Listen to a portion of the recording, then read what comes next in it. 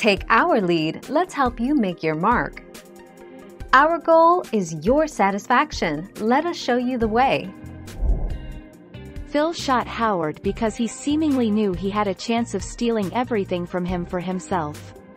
What did we really think would happen to Howard, anyhow?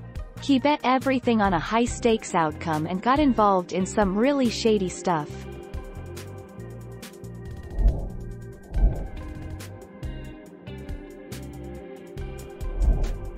Take our lead.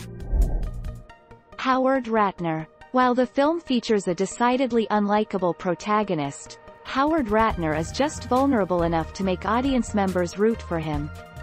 To that end, he's also fantastic at getting out of one close call after another, which is why Uncut Gems almost convinces its audience that Howard might make it through the film.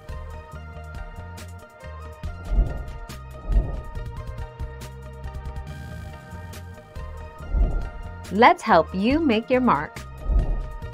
With fake teeth, heavy gold jewelry, a slouchy black leather jacket and a tacky designer shirt with the tag still dangling, Sandler plays a charismatic but insufferable jewelry dealer whose marriage, to Idina Menzel, is on the rocks and career is always in crisis mode.